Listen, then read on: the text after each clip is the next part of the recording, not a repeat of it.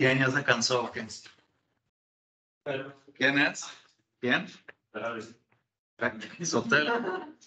Ok, entonces, el libro más famoso de Bastiat es este, lo compré en inglés hace muchos años. Lo que se ve y lo que no se ve. Las consecuencias este, no intencionales del gasto de gobierno. Ok, el libro está en inglés, entonces voy a hacer una pausa cada párrafo, cada dos párrafos. Si no entienden algo, nada más pregúntenme. Ok, entonces voy a empezar con la introducción. Ok, that which is seen and that which is not seen. In the Department of Economy, an act, a habit, an institution, a law gives birth not only to an effect, but to a series of effects. Of these effects, the first is immediate. It manifests itself simultaneously with its cause. It is seen. The others unfold in succession. They are not seen. It is well for us if they are foreseen. Between a good and a bad economist, this constitutes the whole difference. The one takes account of the visible effect. The other takes account both of the effects which are seen and also of those which it is necessary to foresee. Okay, eso es muy importante. Entonces, ¿cuál es la diferencia según Bastiat entre un buen economista y uno malo? El economista malo que ve lo observable, lo visible. Él ve lo que se ve. Y el buen economista que ve lo que se ve y lo que no se ve. Entonces vamos a notar eso. Es muy importante, es una diferencia muy importante para vaciar. Entonces, lo que se ve y no se ve. Lo que se ve y lo que no se ve. Lo que no se ve. Ok, para Bastiat, para Bastiat, toda política económica, toda política económica genera, genera una serie de efectos. El efecto inmediato es visible. El efecto inmediato es visible. Es visible. Pero los demás efectos, pero los demás efectos son invisibles. Y ahí añade algo. Afortunados somos, benditos seamos, si los podemos prever, si son previsibles para nosotros. ¿Ok? O si tenemos suerte, tenemos suerte, previsibles. Sabemos que van a ocurrir. ¿Ok? Entonces, la diferencia, la diferencia entre un mal economista, economista, y un buen economista, un buen economista, es la siguiente. Okay. El mal economista, el economista malo, el economista malo, malo, solo ve lo visible, lo que se ve. El economista bueno, el economista bueno, ve lo que se ve y lo que no se ve. Lo que no se ve. Eso es muy importante para vaciar. En econometría, lo que no se ve se llama el contrafactual. ¿Qué hubiera pasado? Es lo, lo que, lo que Bastiat quiere quiere este, comunicar en este volumen. Ok. Entonces, voy a seguir leyendo. Este, now, this difference is enormous, for it almost always happens that when the immediate consequence is favorable, the ultimate consequences are fatal, and the converse. Hence, it follows that the bad economist pursues a small present good, which will be followed by, followed by a great evil to come, while the true economist pursues a great good to come at the risk of a small present evil. Si no entienden algo, nada, levanten la mano, detengan. In fact, it is the same in the science of health, arts, and in that of morals. It often happen if it often happens that the sweeter the first fruit of a habit is, the more bitter are the consequences. Take, for example, debauchery, idleness, prodigality. When therefore a man absorbed in the effect which is seen has not yet learned to discern those which are not seen, he gives way to fatal habits, not only by inclination, but by calculation. Se está haciendo una comparación entre medicina y economía. A veces lo que duele primero es benéfico a largo plazo y al revés. A veces lo que es dulce primero es malévolo o nocivo a largo plazo. Ahora, aquí viene la parte este, triste. This explains the fatally grievous condition of mankind. Ignorance surrounds its cradle. Then its actions are determined by their first consequences, the only ones which, in its first stage, it can see. It is only in the long run that it learns to take into account of the others. It has to learn this lesson from two different masters, experience and foresight. La humanidad tiene dos maestras, la experiencia y la previsión. Okay? Experience teaches effectually, but brutally. It makes us acquainted with all the effects of an action by causing to feel them. And we cannot fail to finish by knowing that fire burns if we have burned ourselves. For this rough teacher, I should like, if possible, to substitute a more gentle one. I mean foresight. For this purpose, I shall examine the consequences of certain economical phenomena by placing in opposition to each other those which are seen and those which are not seen. Ok, Diego, ¿qué sacas de eso? De lo que acabo de leer, que para ti es importante. Eh, o sea, a veces cuando buscas algo bueno en el corto plazo puede tener efectos negativos en el largo plazo. Ajá. Y al revés. Sí, muy bien. Escoge una persona, Diego. Diego, Ok, Diego. Ok. ¿Cuáles son las dos maestras que tiene la humanidad? ¿Y los humanos entre qué océano nacen? ¿Entre qué océano nacen? ¿Entre qué mar? Mar de la ignorancia. Nacen entre ignorancia. ¿Ok? Ok. Entonces, ¿la experiencia te enseña efectivamente? Sí, pero totalmente. Ok, vamos a anotar eso. La humanidad es la vida. La humanidad, acuérdense, economía es vida. La humanidad nace en un, ahora, en un mar de ignorancia. Nadie está hablando de los. Mar de ignorancia, ¿ok? Tiene dos maestras. Tiene dos maestras. La experiencia, la experiencia y la previsión. La previsión. Ok, entonces como dijo Diego, la experiencia, la experiencia es una maestra efectiva, pero brutal. Sí. Te enseña que el fuego quema, quemándote. ¿Qué es lo que te va a enseñar? Te enseña que no puedes respirar bajo el agua cuando te caes y no sabes nadar en el, en el- en el mar o en el río. ¿Ok? La experiencia es una maestra efectiva o brutal. Bastiat, Bastiat propone que, ¿qué es lo que propone? Que aprendamos por medio de qué, Sotelo. Bastiat, ¿qué propone? Dice, yo, yo propongo una maestra mucho más gentil. La previsión. Muy bien. Bastiat propone que aprendamos de la maestra más gentil, más gentil, más cariñosa, la previsión. Pero para aprender de la previsión, ¿qué tiene que enseñarnos? Por medio de varios ejemplos, ¿qué tiene que enseñarnos?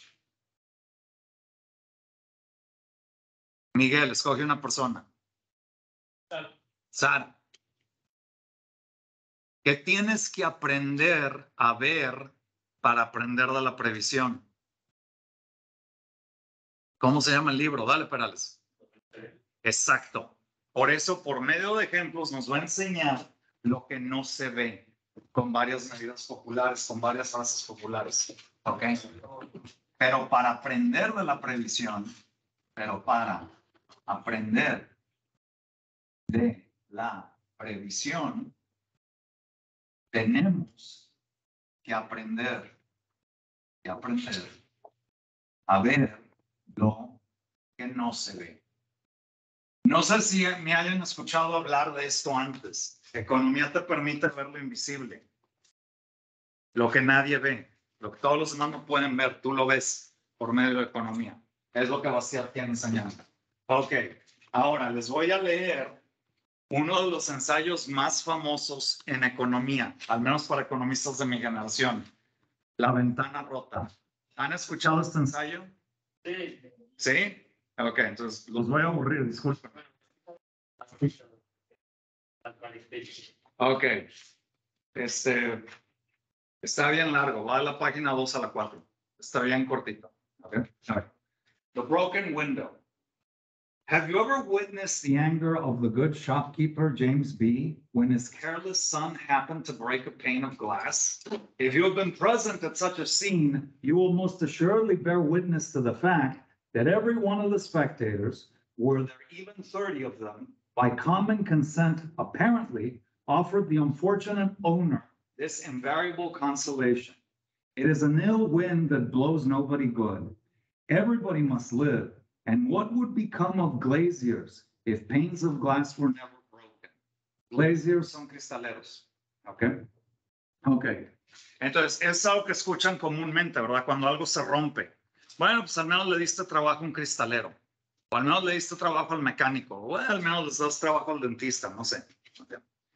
Now, this form of condolence contains an entire theory, which it will be well to show up in this simple case, seeing that it is precisely the same as that which, unhappily, regulates the greater part of our economical institutions.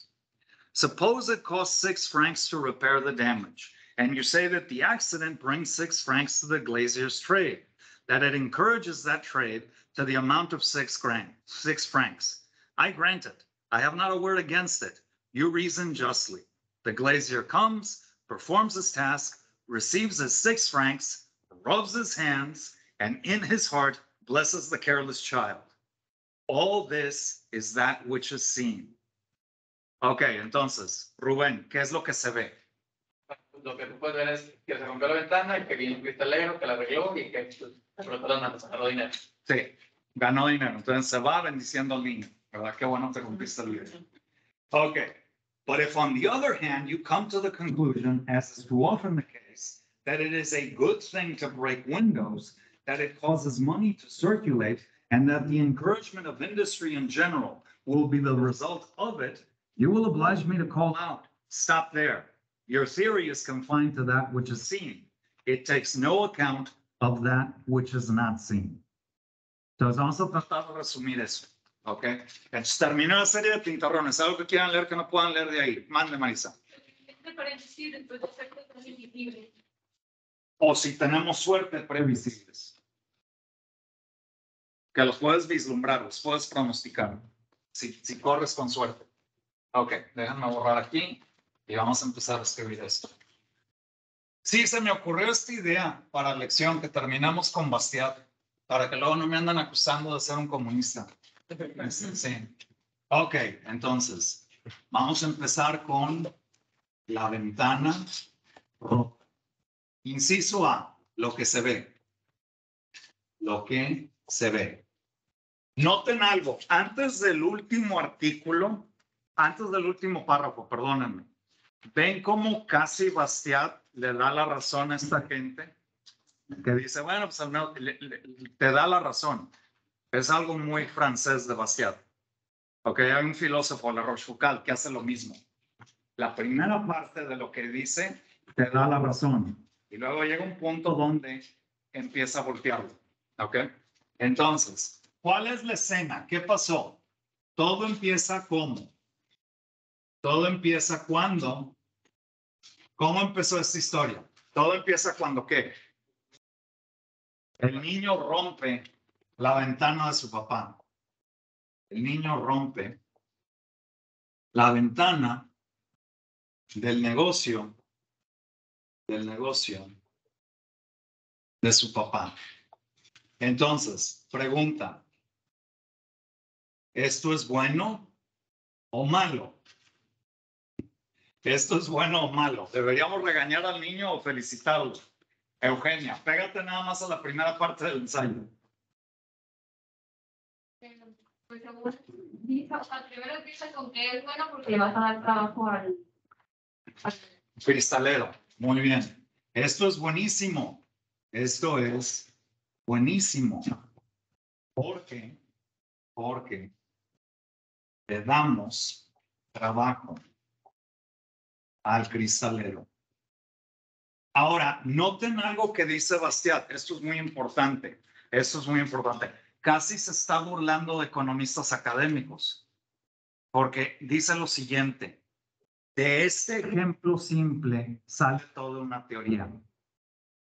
Y palabras más, palabras menos dicen, dice, nada más tenemos que concentrarnos en este ejemplo simple para entender la falacia de muchas instituciones económicas que tenemos hoy en día. O sea, lo que está diciendo, no necesitas ser un erudito, no necesitas estar Sí, para averiguar qué tipo de pensamiento contiene una falacia. ¿Ok? Entonces, de este de este ejemplo sencillo, ejemplo sencillo, se ve toda una teoría. ¿Ok? Y eso es lo único. Este ejemplo es lo único necesario. Este ejemplo es lo suficiente, lo suficiente para entender, para entender el problema con política económica. La política económica de sus tiempos, de Francia. Ok, pues no voy a borrar aquí, la voy a seguir. Ok. It is not seen that as our shopkeeper has spent six francs upon one thing, he cannot spend them upon another. It is not seen that if he had not had a window to replace, he would perhaps have replaced his old shoes or added another book to his library. In short, he would have employed his six francs in some way which this accident has prevented. Okay. Antes de, porque va a brincar a nivel industria, ahorita es nivel individual. ¿Qué acaba de decir Bastián? ¿Qué acaba de decir? ¿Qué es lo que no se vio? Dale, por favor, Diego, escoge una persona. A la persona que más quieras. Ok, Carlos, dale. Sí, ¿qué es lo que no se vio? El costo que le va a generar hacer ese trabajo. No. A ver, Carlos, escoge una persona. Ok, Manolo, ¿qué es lo que no se vio? Ok, ¿quién me quiere decir? ¿Qué es lo que no se vio? Dale, Diego. Si me hubieran roto la ventana, yo hubiera comprado otra cosa. Exacto. Él hubiera comprado otra cosa. Ok, eso es lo que no se ve. En economía eso se llama costo de oportunidad. Tras Bastiat está explicando el, el concepto de costo de oportunidad aquí. Okay, let us take a view of industry in general as affected by this circumstance. The window being broken, the glazier's trade is encouraged to the amount of six francs. That is that which is seen. If the window had not been broken, the shoemaker's trade or some other would have been encouraged to the amount of six francs. This is that which is not seen. And if that which is not seen is taken into consideration, because it is a negative fact, as well as that which is seen, because it is a positive fact, it will be understood that neither industry in general nor the sum total of national labor is affected, whether the, whether windows are broken or not. Ahora está hablando a nivel industria. ¿Por qué llegamos a la conclusión que a nivel industrial nada bueno realmente ha pasado? ¿Qué es lo que se vio? Los seis francos, ¿en qué se- sector se gastaron? Dale, por favor, Darian.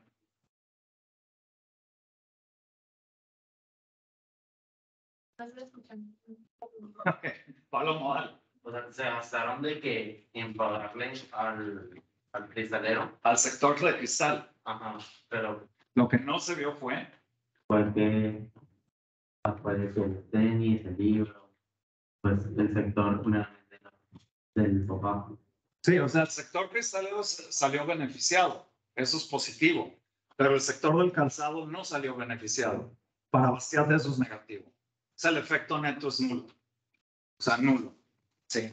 Eh, rompen, rompamos ventanas o no. No, no, eso no, no es lo que importa a nivel industrial. Vamos a borrar aquí. Lo que no se ve, primero a nivel individual y luego a nivel industrial. Vamos a resumir esto. Lo que no se ve. Lo que no se ve. Ok. Lo que no se ve, lo que no se ve, es que el papá pudo haber gastado, pudo haber gastado seis francos, seis francos en un par nuevo de zapatos o en un libro, en un libro adicional, adicional en su biblioteca, su biblioteca. Es lo que no se ve. Y lo que Bastiat está indicando, ese es el costo de oportunidad. Bastiat, Bastiat, se refiere, se refiere al costo de oportunidad.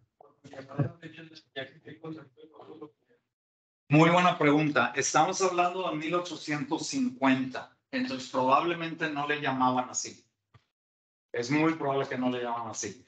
Entonces, de una manera indirecta ya existía porque David Ricardo inventó la ventaja comparativa.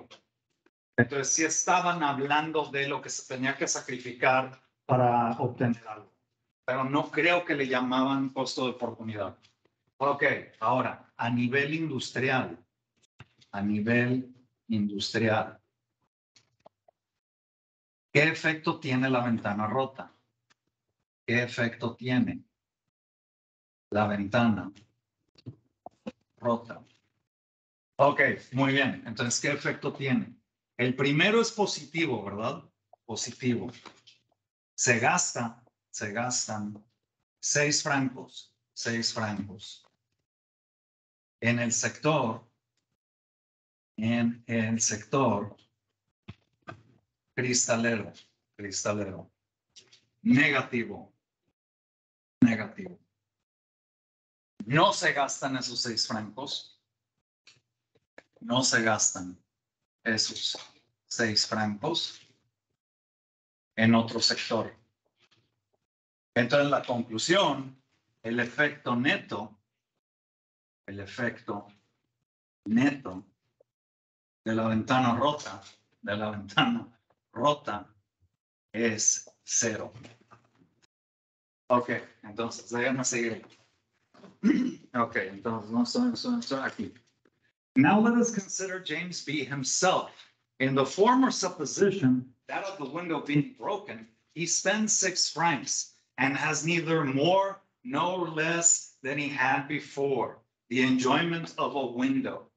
In the second, where we suppose the window not to have been broken, he would have spent six francs in shoes and would have had at the same time the enjoyment of a pair of shoes and of a window.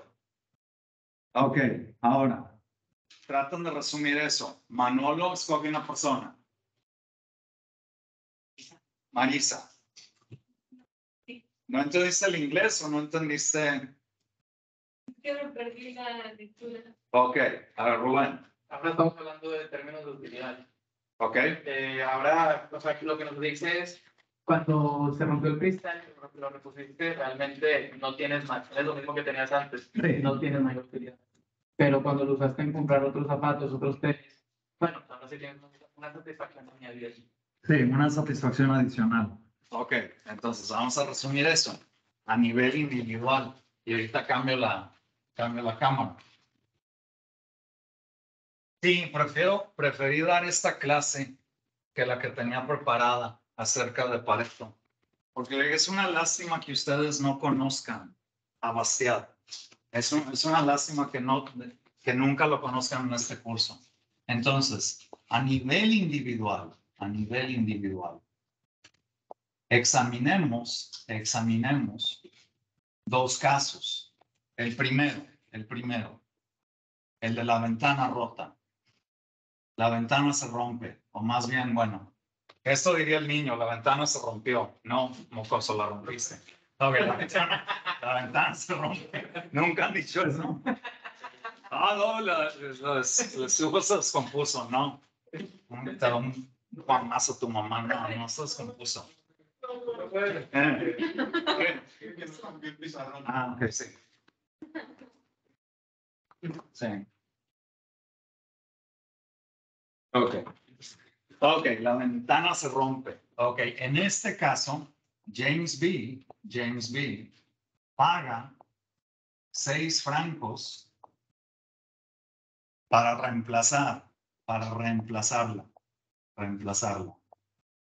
Ok. termina, termina con una ventana, con una ventana, disfrutando una ventana que ya tenía, que ya tenía. Dos, la ventana no se rompe. La ventana no se rompe. James B, James B, paga seis francos, paga seis francos para un par de zapatos nuevos, para un par nuevo, para un par nuevo de zapatos. Ahora tiene zapatos nuevos y la ventana. Ahora tiene zapatos nuevos y la ventana. Y la ventana. Está mejor en el segundo caso, obviamente. Ok, no, vamos a seguirle. Now, as James B forms part of society, we must come to the conclusion that taking it all together and making an estimate of its enjoyment and its labors, it has lost the value of the broken window. Once we arrive at this unexpected conclusion, society loses the value of things which are uselessly destroyed. And we must assent to a maxim which will make the hair of protectionists stand on end.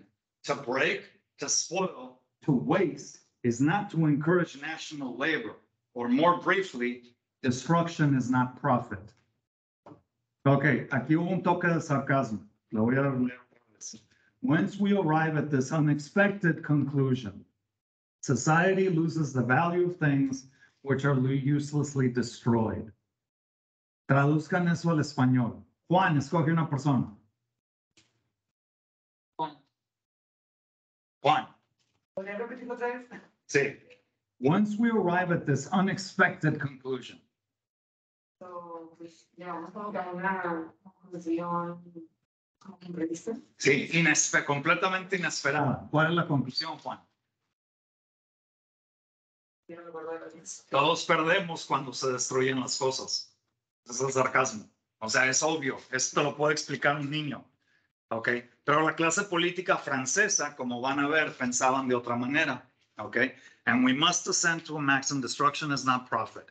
What will you say? Industrial Monitor, Monitor Industrial, es una revista. What will you say, Industrial Monist- Monitor? What will you say, disciples of good Monsieur Chamans, who has calculated with so much precision how much trade would gain by the burning of Paris from the number of houses it would be necessary to rebuild? Chamans era un político que llegó a proponer quemar casas en París para estimular la economía. Hey, I am sorry to disturb these ingenious calculations as far as their spirit has been introduced into our legislation. But I beg him to begin them again by taking into account that which is not seen and placing it alongside that which is seen. Nuevamente, sarcasmo. I am sorry to disturb these ingenious calculations. Traduce, Eugenio. Este, Perdón por. Perdón por interrumpir estas ingenuos ¿Qué le está diciendo? Di- Dilo sin decir maldiciones. Sí. Es un tonto. Es un tonto. Es un idiota. ¿Para ¿Cómo puedes decir tal cosa?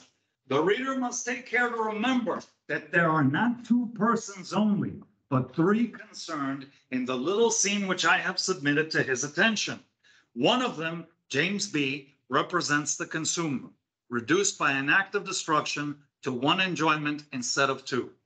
Another, under the title of the glazier, shows us the producer, whose trade is encouraged by the accident. The third is the shoemaker, whose labor suffers proportionately by the same cause. Entonces hay tres actores. ¿Cuáles son, Lady? Los últimos dos, era el productor, de que... El cristalero. El último era que era El zapatero. Que el zapatero no obtiene el dinero, los seis francos, porque el primero, el consumidor, James B., le tiene que pagar al cristalero para reemplazar el vidrio. Vamos a escribir eso. Ok. En este ejemplo, son chachalacas, ¿verdad? Vamos a borrar aquí. O pterodáctilos, no sé qué hay Yo sé todo tipo de cosas. He visto todo tipo de animales. ¿Nunca han visto las chinches de mederos? No, Son gigantescas. Son gigantescas, muy grandes. ¿Qué? Que Yo pensé que se refería a personas de otras facultades, ya me asustaba. No. Las Doctor, ¿y chinches. te ha visto cómo usted? Eh, sí, yo he visto los osos. Ay, ¿Por aquí? ¿Aquí? Eh, una vez recuerdo que en la madrugada se atravesó un cachorro, un oceno, frente de mí, lo cual es sumamente peligroso. Luego otra vez iba al gimnasio a pie y salió un oso del monte y luego se volvió a meter, estaba asustado. Y luego la tercera vez era un sábado, iba caminando, iba a punto de entrar al gimnasio y al lado del, del contenedor de basura había un oso, esperando a una persona del gimnasio que le estaba dando de comer lo cual es una locura. Le está dando a comer basura, eso es nocivo. Pero bueno, ok, entonces, hay tres actores, ok, sé. Tres actores, ok. En este pequeño ejemplo, en ese ejemplo, simple, tengo que, subrayar eso, simple.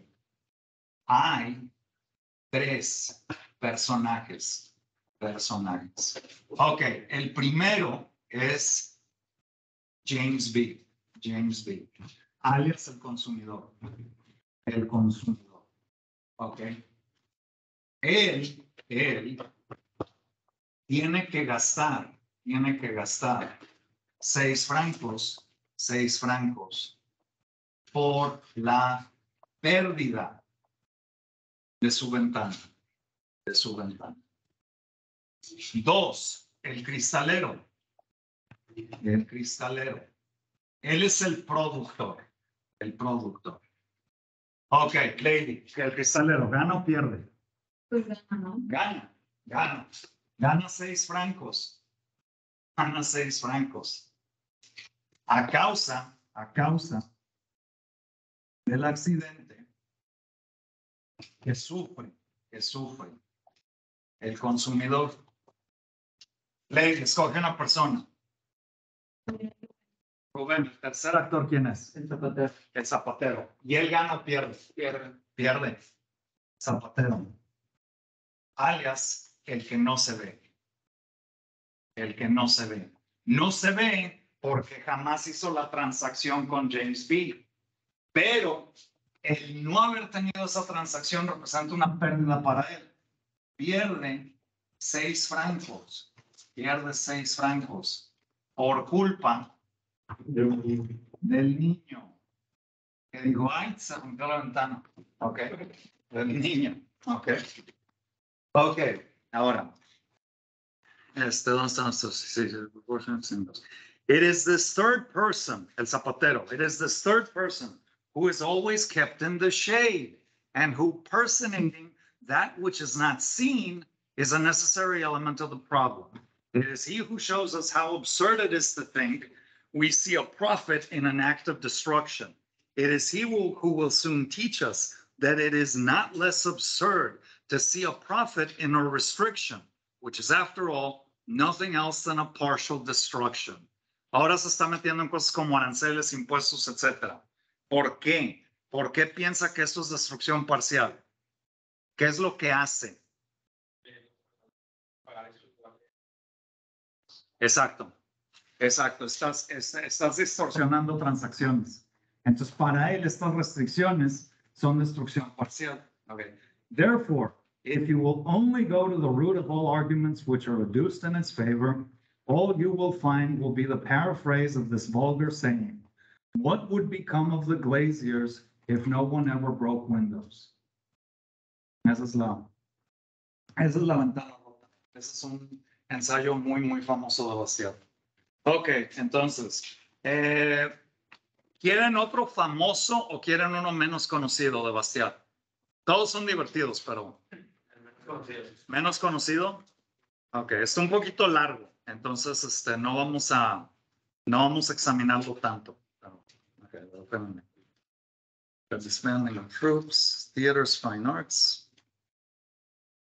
Public Works. The intermediates, los intermediarios. Este está muy bueno. Okay. Society is the total of the forced or voluntary services which men perform for each other.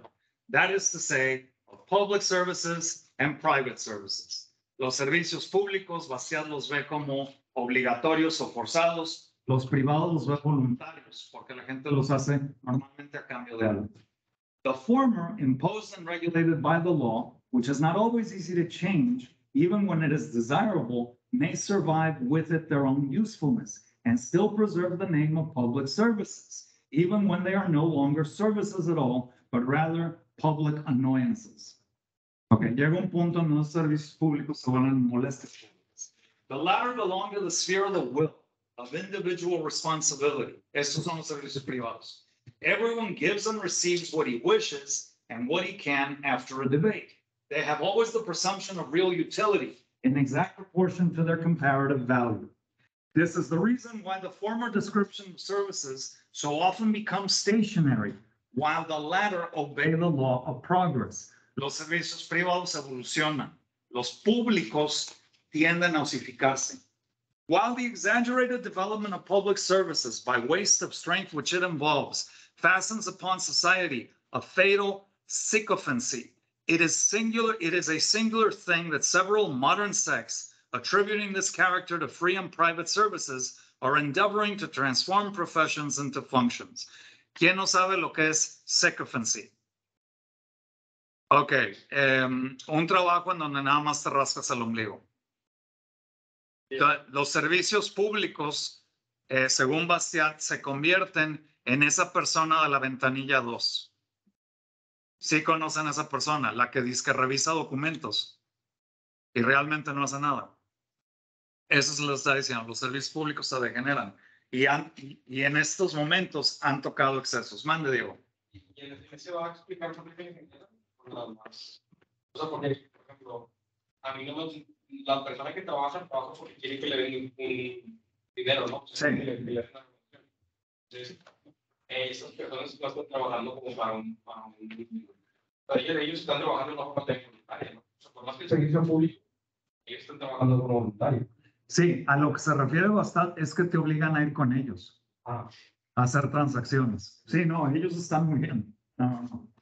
These sects, estas sectas, these sects violently oppose what they call intermediates. They would gladly suppress the capitalist, the banker, the speculator, the projector, the merchant, and the trader, accusing them of interposing between production and consumption to extort from both without giving either anything in return, or rather they would transfer to the state the work which they accomplish, for this work cannot be suppressed.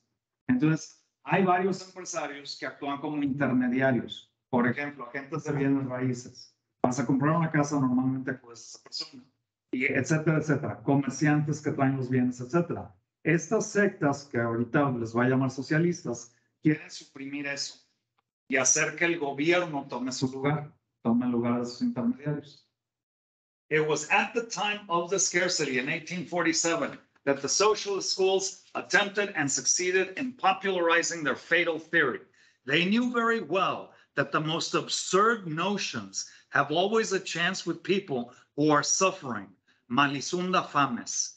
The sophism of the socialists on this point is showing to the public what it pays to the intermediates in exchange for their services and concealing from it what is necessary to be paid to the state. Here is the usual conflict between what is before our eyes and what is perceptible to the mind only, between what is seen and what is not seen.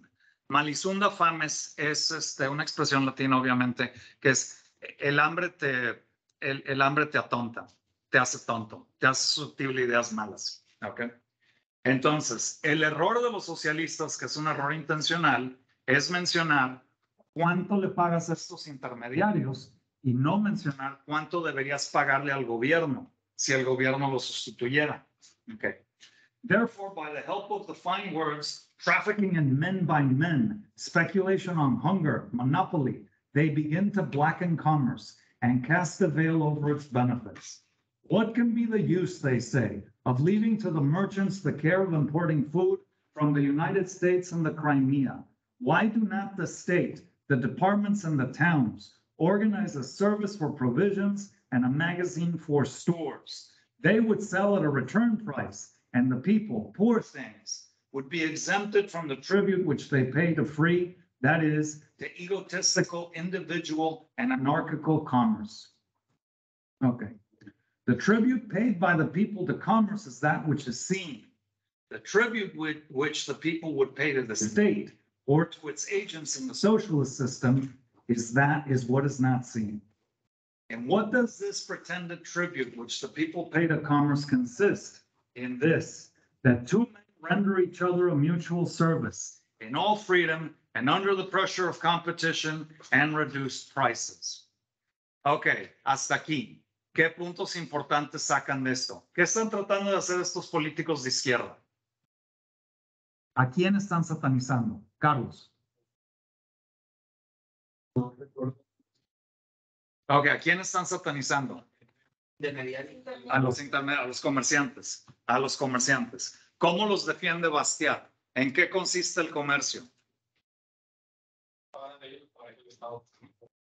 No, ¿en qué consiste el comercio? El comercio privado. En un intercambio libre. Los dos libremente entran a este intercambio y se llevan los dos algo de beneficio. Ok, muy básico.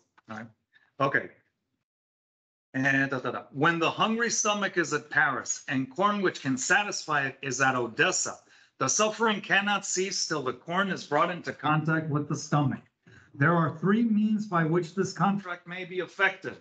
First, the famished men may go themselves and fetch the corn. Second, they may leave this task to those who, whose trade it belongs. Third, they may club together and give the office in charge to public functionaries. Which of these three methods possess the greatest advantages? In every time, in all countries, and the more free, enlightened, and experienced they are, men have voluntarily chosen the second. I confess that this is sufficient, in my opinion, to justify this choice. I cannot believe that mankind as a whole is deceiving itself upon a point which touches it so nearly. But let us now consider the subject. For 36 million, for 36 million of citizens to go and fetch the corn they want from Odessa is a manifest impossibility. The first mean then goes for nothing. The consumers cannot act for themselves. They must of necessity have recourse to intermediates, officials or agents. La primera opción es que la gente de Francia vaya a Odessa y agarre el trigo. ¿Eso es viable, sí o no? No. Entonces, ¿qué tienen que hacer forzosamente? Esa opción ya quedó fuera. ¿Cuáles dos quedan? ¿Cuáles dos quedan? El comercio o esta para estatal que, que, que, que va a traer el, el, el trigo para ellos. But observe that the first of these three means would be the most natural. In reality, the hungry man has to fetch his corn. It is a task which concerns himself, a service due to himself. If another person on whatever ground performs this service for him, takes the task upon himself, this latter has a claim upon him for a compensation. I mean by this to say that intermediates contain in themselves the principle of remuneration. ¿Quién no le entendió a eso? Es muy importante. ¿Quién no le entendió el inglés? Ok, lo voy a tratar de medio traducir. Ok. Lo que Bastián está diciendo es esto. Pero la primera opción, tú vas por la comida, es la opción más natural. Lo hemos hecho en la prehistoria, ¿verdad? Tú vas a la comida, la agarras hasta la comes. Ok. Pero al no poder hacer eso, le pides a otro que lo haga por ti. Pero el otro, al hacerlo por ti, se convierte en merecedor de una compensación porque te hizo un servicio. a lo que va a bastear. El, intermedi- el intermediario, por definición, contiene y merece su remuneración. Te hizo un servicio, algo que tú no pudiste haber hecho, y te dejó mejor. Ok, entonces. However, however that may, since we must refer to what the socialists call a parasite, I would ask, which of the two is the most exacting parasite, the merchant or the official? Commerce, free of course, otherwise I could not reason upon it.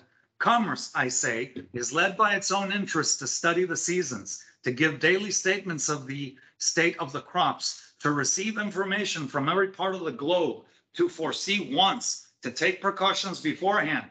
It has vessels always ready, correspondence everywhere, and it is immediate and it is its immediate interest to buy at the lowest possible price, to economize in all the details of its operations, and to attain the greatest results by the smallest efforts. It is not the French merchants only who are occupied in procuring provisions for France in time of need. And if their interest leads them irresistibly to accomplish their task at the smallest possible cost, the competition which they create amongst each other leads them no less irresistibly to cause the consumers to partake of the profits of those realized savings. The corn arrives. It is to the interest of commerce to sell it as soon as possible, so as to avoid risks, to realize its funds, to begin again the first opportunity. Alguien por favor resuma ese párrafo. Diego, escoge la persona.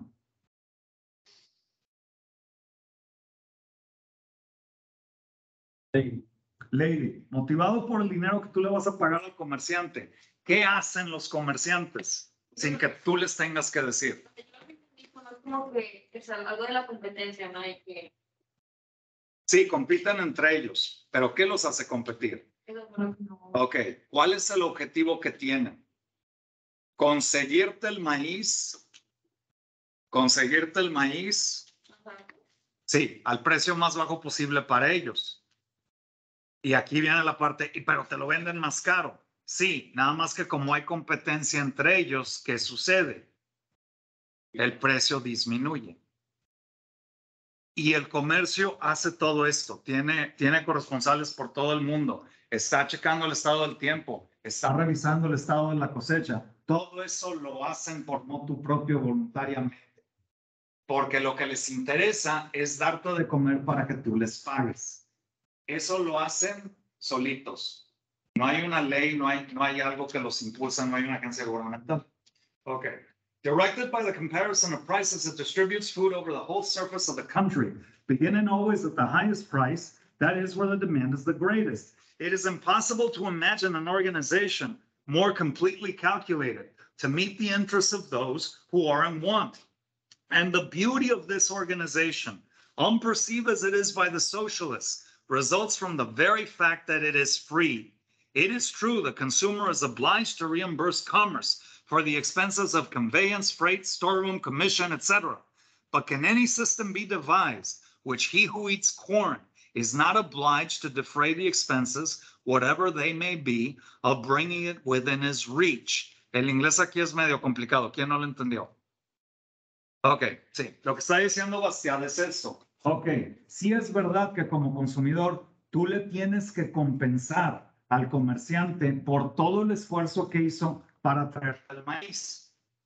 Pero hay algún otro sistema que lo haga de una manera tan libre y eficiente. O hay algún otro sistema que lo pueda hacer sin que le pagues a la gente involucrada. Ok, eso es lo que está diciendo. Ahora, if according to the socialist invention, the state were to stand in the stead of commerce, what would happen? I should like to be informed where the saving would be to the public.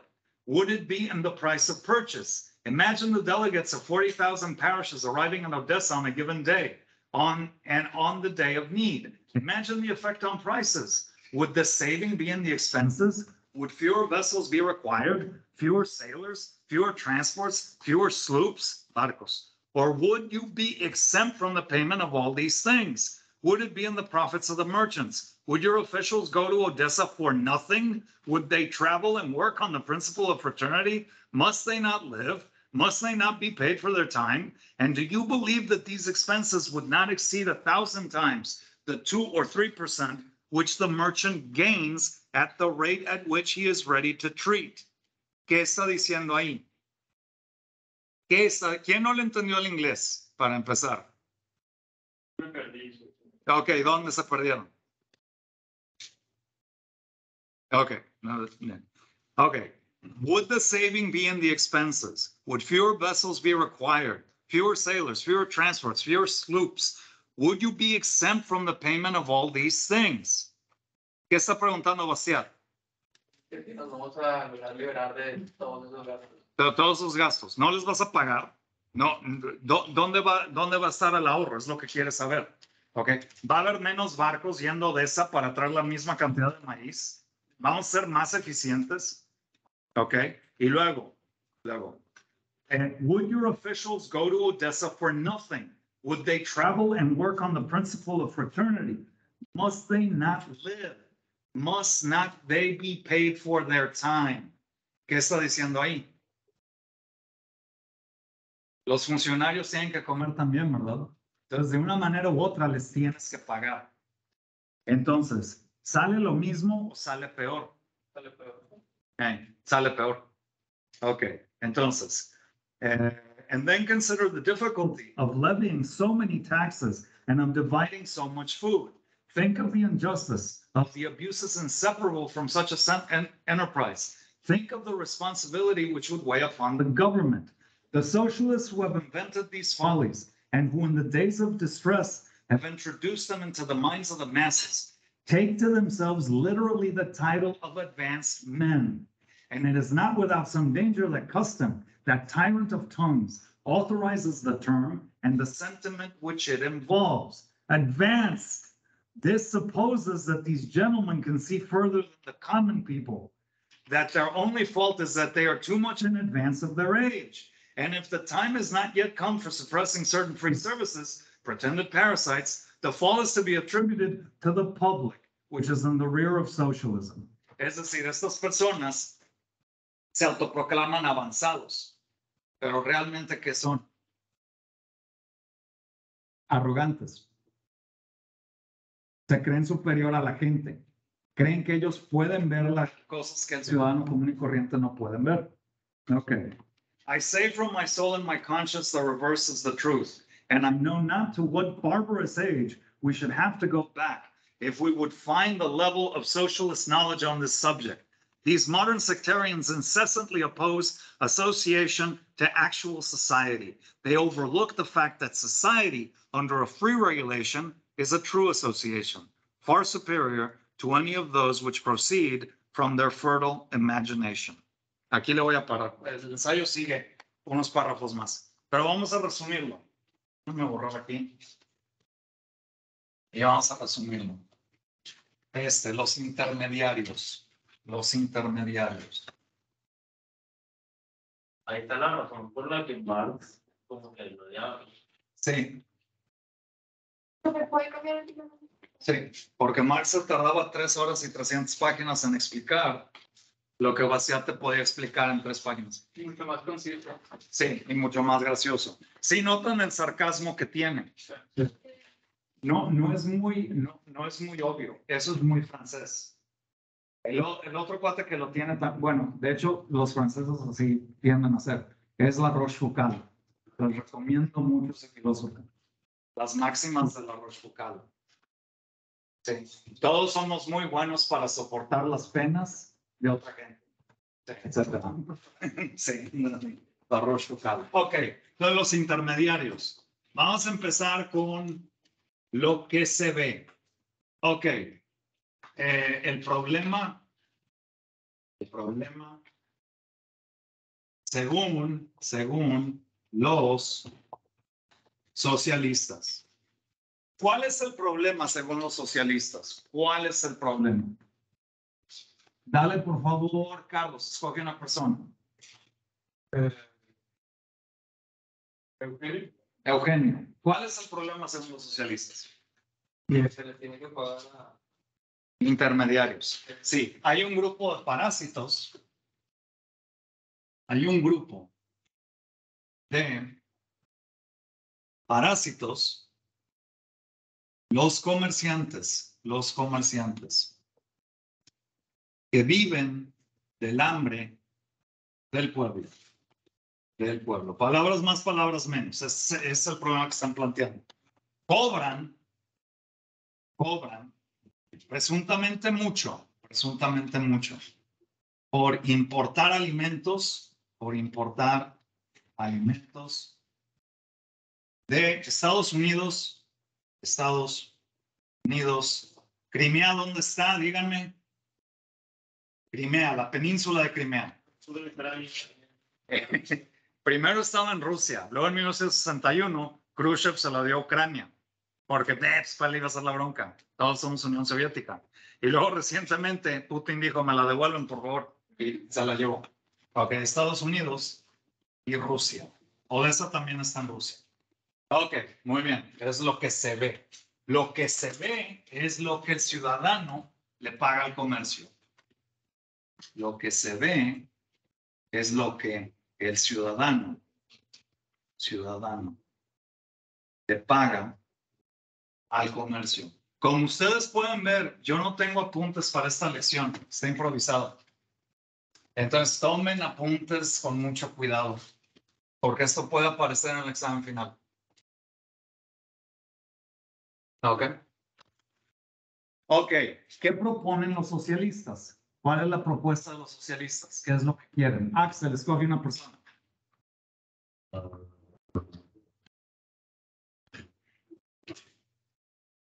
Ok, Fernanda, ¿cuál es la solución según los socialistas? Que el Estado se encargue. Sí. ¿Cuál es la solución? Que el gobierno, que el gobierno se encargue, se encargue de traer comida, de traer alimentos a Francia, a Francia, haciendo un lado, haciendo un lado a los comerciantes. Comerciantes. Muy bien. Entonces, inciso B, lo que no se ve. Vamos a empezar primero con algo que enfatiza mucho Bastián. ¿En qué consiste el comercio? ¿En qué consiste el comercio?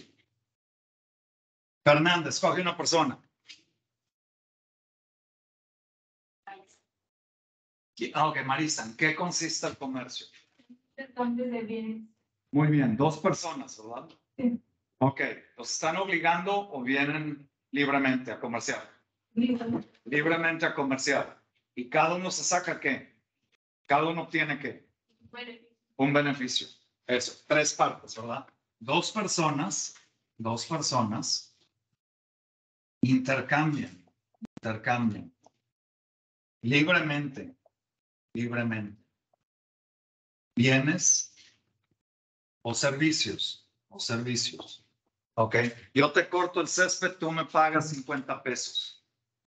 Yo te lavo el carro, me pagas 100 pesos. Yo compro, yo te compro un chocolate, te doy 5 pesos. En eso consiste. Cada uno, cada uno se beneficia, se beneficia del intercambio, del intercambio. Ahora, esto es, esto es algo legendario de Bastiat, lo que estamos a punto de describir. Esto, si le dicen esto a un admirador de Bastiat, va a empezar a llorar. Por eso una parte muy bonita de Bastiat. ¿Cómo, cómo llega el trigo o el maíz a París? ¿Cómo llega a París? Según Bastiat hay tres opciones. Hay tres opciones. La primera, ¿cuál es? La primera, la más natural, ¿cuál es? Ir por él. Ir por él, que 36 millones de franceses vayan por él. él. 36 millones de franceses, de franceses van por el maíz. Esta es la opción más natural. Esta es la opción más natural. Nada más que hay un problema. ¿Cuál es? ¿Cuál es? Sí, no, no es viable. No, no es viable. Por ejemplo, mi gatita, ahorita mi gatita está tomando un, un inmunoestimulante. ¿Ok? Es una medicina que el veterinario consiguió. Me dijo, "Vi- viene de Corea la medicina. Lo cual es muy curioso porque no viene en coreano, viene en español, pero bueno. Este, el caso es que, ¿qué opción tengo para obtener esa medicina para mi gatita? Ir a Corea. ir a Corea por ella. No es muy viable. No es muy viable que yo ande en Corea, en las farmacias de Navides, como se llama en Corea, preguntando por un medicamento para gato. Ok, es la opción más natural, pero menos viable. Menos viable. Ok, la segunda opción, ¿cuál es? La segunda opción, ¿cuál es? comercial, ¿Eh? Sí, pagarle a los comerciantes, pagarle a los comerciantes, comerciantes, a que vayan por él, a que vayan. Ok, ahora un punto muy importante que hace Sebastián. Esta remuneración es inherente. Esta remuneración, este pago al comercio es inherente a la actividad. Actividad. El comerciante, el comerciante nos está beneficiando, nos está beneficiando. Entonces, por moral, nada más por moral bien básica, merece, merece él también ser beneficiado. Beneficiado. Ok, ahora vamos a borrar aquí. ¿Cuál es la tercera opción? ¿Cuál es la tercera opción? Manolo, que el gobierno lo haga. El gobierno. Una paraestatal. Una paraestatal, como am- Amlitio. Una paraestatal. ¿Sí saben esa?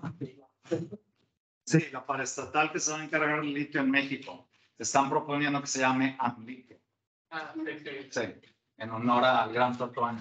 Doctor, si es bueno que usted nacionalice el litio? ¿Mande? Si es bueno lo que hacer de que se... Es nacionalizar el litio, ¿no? Sí, nacionalizar el litio, para que China no lo, para que China no lo acapare, según ellos. Yo creo que sea una medida muy buena, pero bueno. El gobierno, una paraestatal, importa el alimento. Ok. ¿Cuál es el argumento en contra de esto según Bastiat? ¿Qué es lo que lo hace igual o peor a la segunda opción? Ana, escoge una persona. Si quieren, puedo volver a leer fragmentos del ensayo, no me molesta. Si no te acuerdas de algo, Manolo. Yo decía algo de que el público como que está oxidando y el privado lo. Ok, sí, los servicios públicos se oxidan y los, los eh, privados evolucionan. Eso es verdad y lo podemos poner más adelante. Pero esta opción, el gobierno, ¿por qué no es superior a la del comercio? Manda. Porque no hay competencia. Ok, no hay competencia, pero eso no es lo que dijo Bastián, Palomo. Está relacionado con los incentivos, o sea, hay incentivos para los que van a traer el producto como tal. Y pues también el problema va a ser de que va a haber menor público, así de que menos camiones, menos barcos. No, no, pero ¿qué dijo Bastián? Dale. O sea, que tienen los mismos costos. ¿Cuál es la diferencia de que vayan los comerciantes a que vaya el Estado? O sea, ya no se van a necesitar las mismas cosas. Entonces, Sí. como se van a necesitar. Sí, entonces aquí, aquí, ¿quién se enchiló? Aquí, Bastián lanza varias preguntas, preguntas. Ok, preguntas. La general, la popular es esta. ¿En dónde, en dónde está la ventaja? Entonces, como dijo Dariana, ¿cuál es una pregunta que hizo Dariana? ¿Se usarán menos barcos? ¿Cuál es otra, Dariana? Este, Ay, es que digo, mencionó cosas, pero no recuerdo cómo se llaman, son en español. Sí, Pero decía, o sea, cosas que se necesitan para, para conseguirlo. Sí, se requerirán menos personas. Se requerirá menos personal. Y luego hay un punto en el ensayo en donde se pone bien incisivo Bastiat. ¿Qué es lo que pregunta? Estos funcionarios también comen, ¿verdad? ¿De qué van a vivir? De fraternidad. Por si no entienden, Bastiat ahí se está burlando del lema de la Revolución Francesa. Libertad, fraternidad, igualdad. Se, está burlando de eso. o no, no lo calles. ¿Qué, qué dijo Manolo? ¿El qué? Laissez faire, No, laissez-faire no, es liberté, égalité, fraternité. Sí, ese es el lema de la Revolución Francesa y lo es para muchos socialistas. Entonces se está burlando de, ¿de qué vas a vivir, de fraternidad, de solidaridad o qué? De canciones, de canciones de protesta o qué, ¿de qué vas a vivir? De bros. ¿De qué vivirán, vivirán los funcionarios? ¿Acaso no comen? ¿Acaso no comen? Vivirán, vivirán de la mera fraternidad. Sí. Entonces, ahora sí, lo que dijo Manolo. Manolo dijo que los servicios privados siempre están evolucionando. Y Manolo, Bastiat describe cómo llega el trigo a París por medio del comercio. ¿Qué hacen los comerciantes en conjunto? Compiten entre sí, pero ¿qué es lo que hacen? subir el precio para tener ellos utilidad, pero hay varios competidores bajar el precio. No, no, pero ¿qué se requiere para producir trigo y llevarlo de Rusia a París? ¿Qué se requiere? ¿Qué tienes que hacer? Tienes que ir por él, tienes que comprar barcos, pero ¿qué más tienes que hacer? Que el clima, el Clima. Sí, los datos acerca de la cosecha, etcétera. Todo ese trabajo de inteligencia comercial, para llamarle así, lo hacen los comerciantes, no lo haces tú. No tú no tienes que rentar la lancha para que vayan por la comida. Ellos lo van a hacer. E- ellos lo van a hacer. ¿Ok? A hacer. Es como cuando subes un taxi, ¿verdad? Y el taxista, esto me ha sucedido en Monterrey, especialmente en mis primeros años aquí, me subo al taxi, me lleva a este lugar. Hey, ¿por dónde queda? O sea, ¿quieres que maneje y luego te pago? ¿Qué? O sea, ¿qué traes? Yo no conozco aquí. ok, vamos a borrar. O no, la otra que me han hecho los taxistas, ya entendí por qué lo hacen, pero la otra, estaba yo en San Pedro una vez y quería ir a mi casa en Monterrey. Y oye, ¿me llevas a mi casa? ¿Dónde está? Mitra Centro. Ah, está bien lejos. No, si no te estoy pidiendo de favor, como te voy a pagar. ¿Qué te pasa? Entonces, el comercio, el comercio lleva a cabo, lleva a cabo todo tipo de actividades, todo tipo de actividades para que el trigo o el maíz llegue a tu casa o a tu mercado, lo que quieras. ¿Ok? Revisa el estado del clima, revisa el estado del clima. Consigue y mantiene, consigue y mantiene el transporte, transporte. Regatea con los proveedores, regatea con agricultores, agricultores, para conseguir el precio más barato, el precio más barato, más barato. Nada de esto lo haces tú, nada de esto lo haces tú. Los otros que no entienden esto son los mecánicos de Ciudad Juárez. Si se descompone tu auto y lo llevas a un mecánico de Ciudad Juárez, te dice, ah, es el carburador. Sí, pues nada más ve al John que consigue uno, ¿no? Y yo no. No, y luego lo cambio y te pago. O sea, no, no, compadre, tú hazlo. Sí, o sea, no, no, no. Ok, no, sí, regatea con agricultores. Luego compiten entre ellos. Luego compiten entre ellos para que obtengas, para que obtengas la mejor calidad al menor precio. La mejor calidad al mejor precio. Y Bastiat describe esta organización como hermosa, porque es espontánea. A ver, eso no lo voy a escribir, pero es muy importante. Esta organización es, espon- es espontánea. Eso le fascinaba a Bastiat. Como todos estos millones de personas se coordinan de tal manera que el trigo llegue a París. Es la, le- la legendaria, el legendario cuento de Bastiat. Ok, pues ya son 80 minutos. Voy a terminar la clase aquí. Tomen buenos apuntes, fíjense en la grabación. Ustedes pueden descargar, déjenme les doy la dirección. Pueden descargar estos ensayos en www, no pueden descargarlos, perdón, pero pueden leerlos en www.bastiat.org. Los ensayos están en inglés, en español y en francés. Entonces, yo les recomiendo que los lean, los pueden copiar y pegar en formato Word, manden. Escribió el ensayo sobre la petición de los... Sí. Y es la que vamos- lo voy a leer y vamos a examinar el jueves para terminar. Sí, la petición de los fabricantes de velas. Ok, entonces nos vemos el jueves. Nuevamente, gracias por la foto. Sí. Eh, pues. Al rato se va a llegar. Ah, muchas gracias.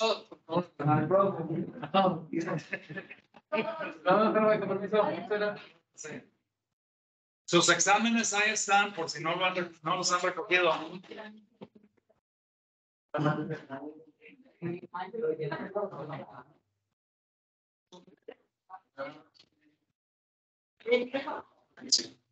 También.